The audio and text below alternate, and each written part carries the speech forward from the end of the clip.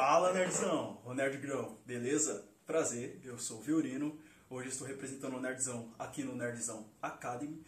Para quem não conhece, o Nerdzão Academy é uma iniciativa nossa do Nerdzão de trazer conteúdo online de forma gratuita para você que está assistindo.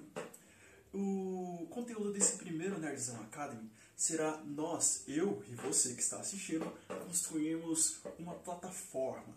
Essa plataforma será basicamente um Netflix ou seja, a gente batizou de Nerdflix, uma mistura de nerdzão com Netflix. Ah, bem intuitiva, né?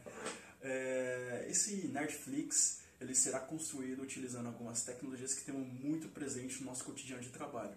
E o objetivo não é só passar a tecnologia, mas também passar um pouco da vivência.